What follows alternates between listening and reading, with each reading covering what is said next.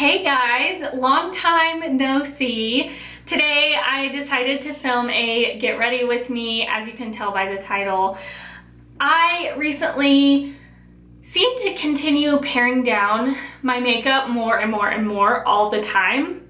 And now I'm sort of just working out of one makeup bag, which for me is a big deal because I normally have like drawers of stuff, but I'm trying to pare things down, simplify things, and I thought I would just share with you some of my favorite products, how I'm doing my makeup recently, and what I love so much that it made it into my little makeup bag here. I am finishing up my coffee for the morning. I already cleansed and moisturized my skin. I need some lip balm. This is just a Blistex one. I got this in a like a three pack. Oh, my lips are so dry. And then I'm gonna look silly kind of the whole time. What I like to do when I get ready is I already gave myself a blowout here, but I like my bangs to be very swoopy. And what helps them, I'm using the viewfinder because I didn't bring an actual mirror in here. Um, so I just take my small little section here of bang and just roll it up in a Velcro roller and let it sit like that the whole time I'm doing my makeup. And then the kind of swoopy effect will last all day. Whereas when I blow dry my hair it looks good at first but it doesn't always stand the test of time. So this helps. So I just and sometimes I put a small one back here but I don't really feel like I need that today so I'm not gonna bother this is a Sonia Kashuk makeup bag. I've had it for some time. It's kind of dirty as makeup bags tend to get, but it does have a pocket up here and a little spot here for brushes. But I only really like to put my brushes in here when I'm traveling with this bag. I really like to just keep them like in a jar or something for day to day. Otherwise, I'm flipping back and forth and it's kind of a pain and things go everywhere. I'm using my Milani eyeshadow primer.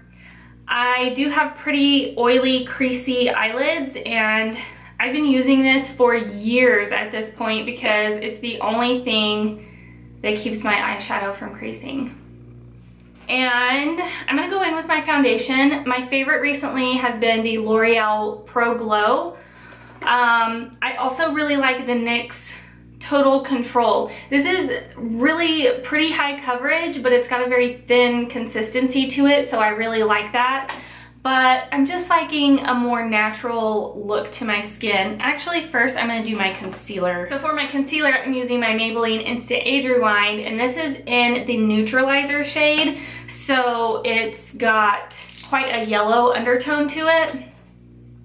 And I do have a little bit of Sunless Tanner on right now, so it works well for that. But I also have the brightener shade, which is more pink, and that is good for when I'm really fair. Um, my skin broke out really bad, but it's all healed up. It's just still kind of red, so I'm going to just put some of that on there. But I've been filming on my other channel a lot and not doing much here because I only have so much time in the days. So uh, my other channel is all about my weight loss and what I eat in a day and that kind of stuff. So if you're interested in that kind of thing, I'll link it below. But I thought maybe I could get on here every now and then and at least do something. Now I'm going in with my foundation.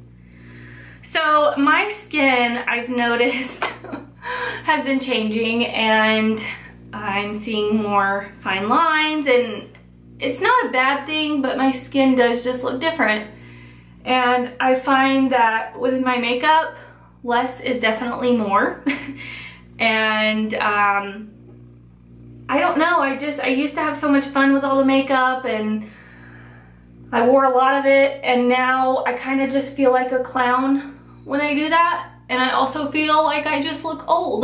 like my skin just looks not its very best. So less is more for me these days. It's how I feel my most confident. like you can still see a little bit of blemishes. I don't mind that too much, but if I do want to cover them just a little bit more, I bring out just a little bit more foundation and add it to just those spots. I'm using a dampened Real Technique sponge to apply my foundation because it applies it a little bit more sheer and also I think using a damp sponge just adds a little bit more glow to whatever you're using.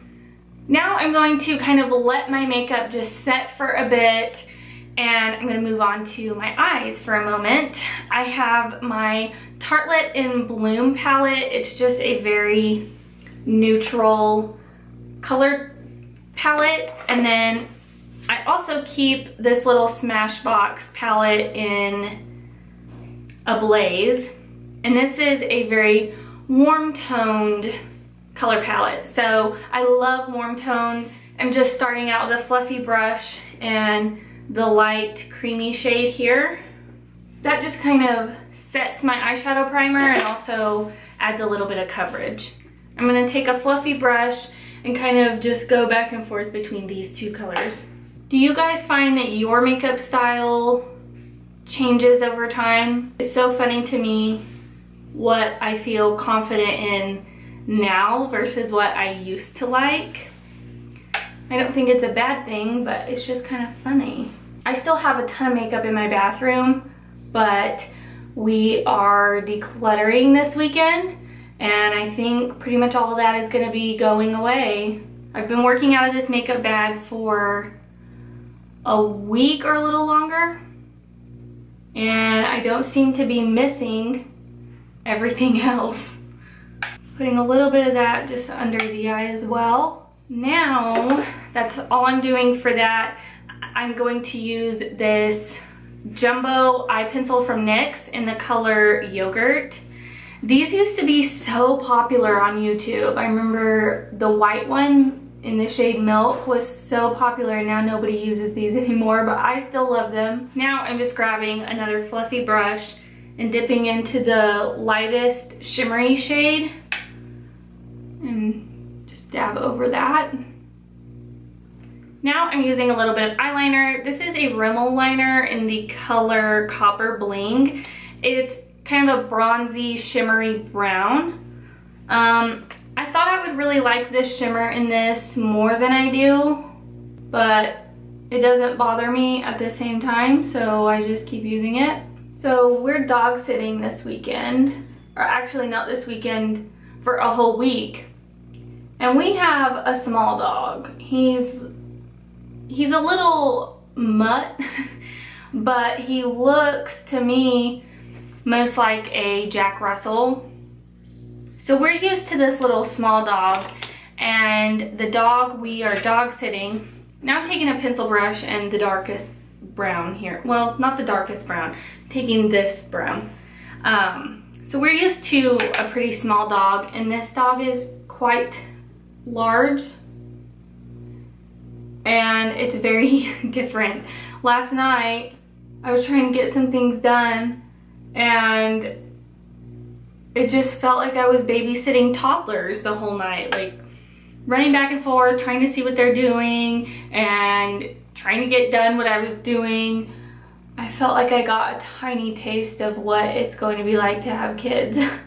For mascara, I Love this L'Oreal Lash Paradise. I do have to use waterproof mascara because my eyelashes are so straight.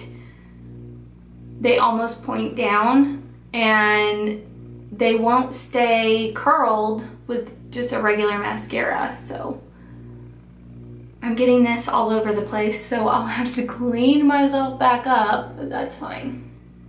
I don't like too, too much of this on the lower lash line, but I like a little. And I also a lot of times like to put a white liner in my lower uh, waterline, but I haven't been taking the time to do that recently, but it does look nice. I'm gonna take the same brown liner and just kind of line right in that lash line. I grabbed a couple of cotton buds and I'm just gonna clean up my mascara mess. Okay, now I'm gonna do my eyebrows and if I fill them in using powder and a brush, I will actually just mix these two colors together and that works well. But recently I haven't been wanting my eyebrows that bold. So what I've been using is just this NYX eyebrow pencil. It looks a lot like the Anastasia Brow Wiz. And this eyebrow has a lot less hair than this eyebrow. So I start with this one and I just kind of lightly fill in the sparse areas. And usually when I use a pencil like this, they don't ever look completely perfect. But that's kind of the point. I don't want them to look so filled in anymore. Maybe I'll change my mind in a couple weeks, but for now, this is what I'm doing. Now I'm going to move on to my face again. I love liquid and cream highlighters. I think they look really a lot more natural on the skin. This one is new to me. It's the Wet n Wild Mega Glow in the color Halo Goodbye. This one is a little bit light. It's very kind of like a light pink color. And I don't really think it looks bad, but I do think maybe a different color might look a little bit better on my skin, but whatever we'll just make it work. Now, I love using a cream blush. I do have a few other products in here, like I have a ColourPop highlighter in the shade Flexitarian. This is great for when my skin is really fair. Love that. And then for blush, I probably shouldn't have this anymore. I've had it for a long time. This is Milani Luminoso. The most perfect peachy blush. It's got a little bit of a glow to it. Uh-huh. What I've been doing recently for blush is a cream blush because it looks so natural on the skin. This one is from e.l.f. and it's in the color Soft Peach. I actually found this at my Ulta. I didn't know they were carrying e.l.f. I feel like every time I go in there, they have some new line, but then they get rid of some others. So, okay, now I'm going to powder my skin. And I like to wait to powder my skin until I've done all my cream products because those will not apply nicely over powder. I'm just gonna make sure my forehead is so creasy and I wanna make sure I blend that back out before I set it with powder. I told my husband a few months, a couple months ago that I was gonna get Botox in my forehead. I'm using this Laura Geller powder. This is the Balance and Brighten uh, powder foundation. This is in the color Fair, but the color Porcelain is really light, and this one works when I have a little bit more color to my skin like I do right now. Um, but I had told my husband, be ready, I'm getting Botox because I'm seeing like the fine lines down here and then my forehead has always had wrinkles like that but I think well they're just gonna get worse as I get older. By the way, I'm literally dabbing my brush once like that. I'm not applying a lot of this. But I've decided I'm not gonna do that. I'm just going to embrace my face as it is and as I get older because maybe this isn't the case for all women, but I see so many women that clearly have Botox and fillers and you can always tell and I don't I don't like that. I want to look like myself. So I'm just embracing it. And now that I have a little bit of powder on my skin, I'm going to add some contour bronzer. So I've got a couple different options. I have this Becca bronzer in the color Bali Sands. And this is really pretty, but it's not super pigmented, which is kind of nice um, because it builds up nicely and it doesn't get crazy looking. But this works really well when I have fair skin. And then I have this ColourPop bronzer. This one's a lot darker. This doesn't even say what color it is. So I don't know what this is, but it's a ColourPop bronzer. I think I'm gonna use the ColourPop one today, but just like with the powder, I'm dabbing it in once and kind of tapping off the excess before I go in because I don't wanna look crazy. So instead of like going crazy with my bronzer and contour, I take this little brush, I got it on Amazon for like $8, and I just put it right back here to add a little bit of depth.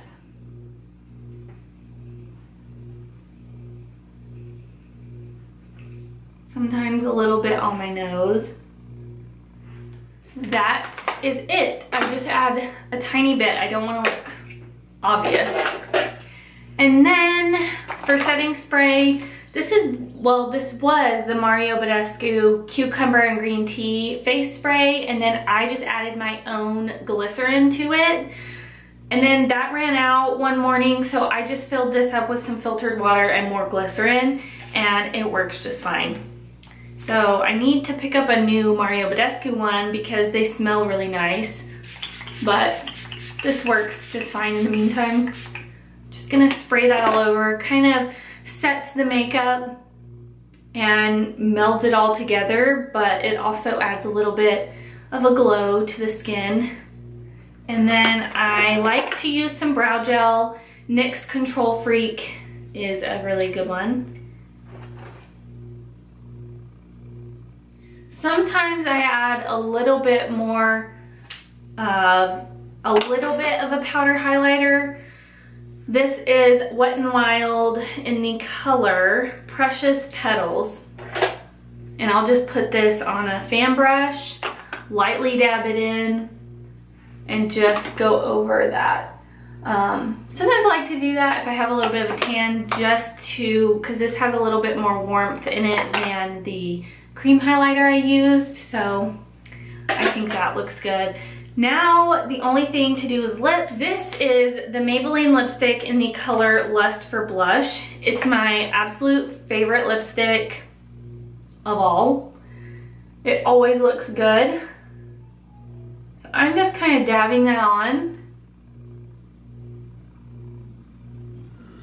And that looks really nice all by itself.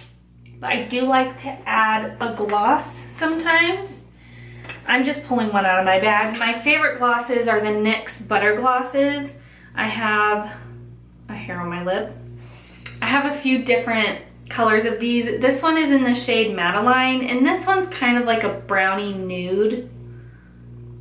It's not my most favorite color, but it's fine. So I like to add some gloss to that lipstick sometimes because I think gloss just looks very fresh. Okay, that is it for my face, I think. For my hair, let me see if I can get a mirror here to see. Pull this out, and this is going to maybe look very dramatic when I do this, but it'll tone down a little bit throughout the day, but it'll still have a little bit of that swoop that I like. So you see how dramatic that is? it'll fall, but if I don't do the Velcro roller, sometimes it falls and it just doesn't have a swoop anymore. So this is how I do this.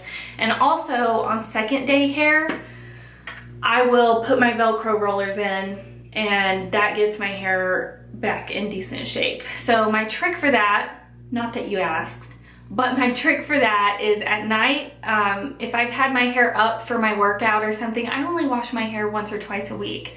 So I will pull my hair out of whatever band it might be up in and then let it relax overnight so it doesn't have a bunch of kinks in the morning because you can't really do much about that. So I'll let it relax overnight and then pop my Velcro rollers back in. I am using some texture spray. This is, I don't know, this is OGX brand, I think? I don't really know. This is the Bodifying and Bamboo Fiberful Tousle Spray. So this is a little bit different for me because it's a texture spray, but it's not a dry texture spray. spray that throughout and then just kind of get my hands in there. And then I just want to smooth out a little bit of it. I didn't bring any hairspray in here, so I'm gonna have to do that really quickly when I step out of here. But the last thing I'm doing is some shine spray. This is the Orlando Pita Play. I don't know, I'm not familiar with this brand, but I found it at Marshall's. It smells good. Every time I use this, my husband tells me how good I smell. And it's just my hair stuff. All right, I am all ready to go. Thank you so much for getting ready with me and I hope to see you soon. Bye.